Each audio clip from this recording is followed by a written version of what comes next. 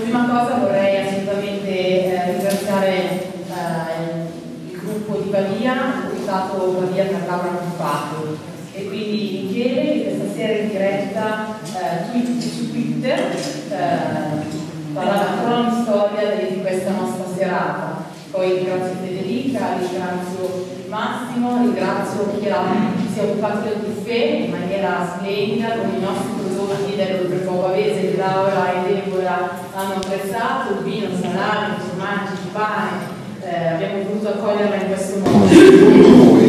Risposta rapida per cortesia, qual è il fatto più rilevante di ieri, secondo voi?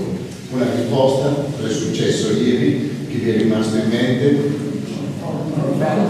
Ecco, la risposta come sempre è sbagliata. Il fatto più rilevante di ieri è che ancora una volta questo paese è stato martoriato da una pioggia un pochettino più consistente del solito e una parte d'Italia ha sofferto, ha sofferto le cose che abbiamo visto eh, alla televisione, la solita comparsata di disperazione, la solita comparsata del, eh, della distruzione del paese. Ecco, la vostra risposta, che era ovvio, me l'aspettavo, sono contento come stesso di averla veduta, rivela che ormai noi non siamo più in grado di valutare le cose.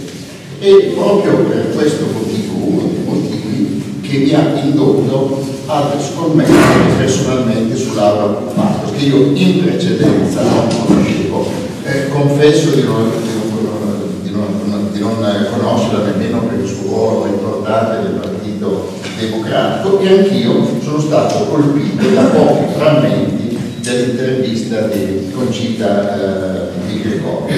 Poi siccome come voi sapete sono molto puntiglioso eh, cambio motivale, che cosa ho fatto? Ho fatto un'indagine a tappeto su internet, sull'aula occupato e come può confermare anche mia moglie, telefonare agli amici comuni per vedere se effettivamente meritava lo sforzo di 2 euro alle primarie, altrimenti personalmente non mi sarei andato a scaldare per scegliere Vendola, Bersani o chi sono gli altri. Cioè, Renzi, sì, Tabassi, proprio non avevo neanche idea, però mi dispiaceva anche io nella politica ci ho sempre sperato, in maniera sfortunata, ho anche qualche responsabilità come eh, indipendente e allora ho incominciato a eh, leggere il suo profilo. Ho letto subito il programma e mi ha colpito una cosa che è il centro del discorso. Il suo programma, appunto, primo c'è uno slogan che ha anche il titolo di un libro recente, letto dal Sole, mi sembra, Riparare l'Italia. Ecco, riparare l'Italia. Riparare l'Italia dal dissesto che connota questo bel eh, paese e che noi ormai cui siamo abituati. Siamo abituati.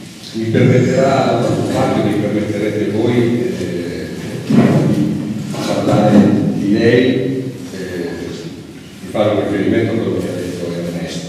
Eh, mi sono sforzato di fare quello che lui ha detto, cioè di interpretare il mio ruolo politico come un ruolo di eh, espressione della società civile. Non sempre ci sono riuscito perché questo paese è fatto nel modo in cui tutti noi sappiamo e non possiamo nascondere che ciascuno di noi subisce i condizionamenti della realtà in cui vive.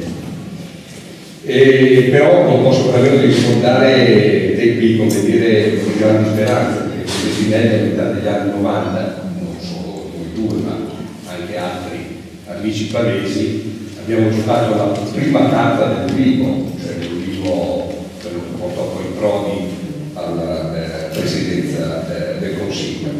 Io che venivo dalla sinistra storica, e ne porto tutto l'orgoglio, credetemi, cioè del Partito Comunista di Enrico Berlinguer, lui che veniva da una tradizione liberale radicale, uso i termini liberali e radicale nel senso migliore di questi termini, e non come sono stati poi anche successivamente un po' degradati. Laura Coppato è in termini sportivi in questa contesa eh, di cui stiamo parlando quello che si chiamerebbe un outsider anche se ieri sera si è battuta egregiamente. E come voi sapete a volte anche gli outsider possono fare gol eh, è, io dico in termini molto più eh, concreti, una risorsa e un'opportunità. Lo è quindi per il Partito Democratico, lo è per queste primarie e lo è per il Paese, perché lo si può evincere tranquillamente dalla lettura del suo programma, il suo è un altro modo, un altro modo di occupare lo spazio pubblico della democrazia. Questi abbozzi, questa pittura, io sono emozionata, eh, anche più di ieri sera c'è per quello, no? Però c'è una cosa che diverge da ieri sera, che sicuramente è stato con voi l'energia che mi manca arriverà. No? Nel senso che stare con la gente è cosa che mi piace di più ed è quello che apprezzo maggiormente. Gli incontri pubblici sono in realtà per me l'infa, l'infa vitale. Molta parte del mio programma è stata fatta in questi mesi così.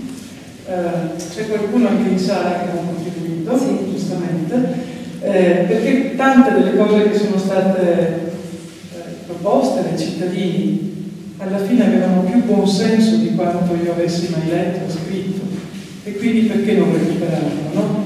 Parto da qui per dire che hanno molte ragioni, grazie Antonio del Maestro, nel senso che io credo che si debba cominciare davvero a recitare un po' lo spettacolo di, Grillo di cinque anni fa diceva, no? Si chiamava L'esercito lo spettacolo, eh? quello spettacolo che mi hanno premiato come sindaco a 5 Stelle. Mi avevano chiesto, lui mi aveva chiesto di partecipare al suo spettacolo in giro per l'Italia, a Milano, Verona, a Pordenone, poi io dovevo fare sigla, non è che potessi fare spettacolo la sera, no?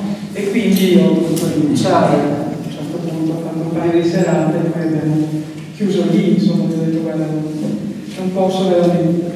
Però è vero che in fondo se la politica si nutrisse di ascolto, risulterebbe molto più interessante κάνει και.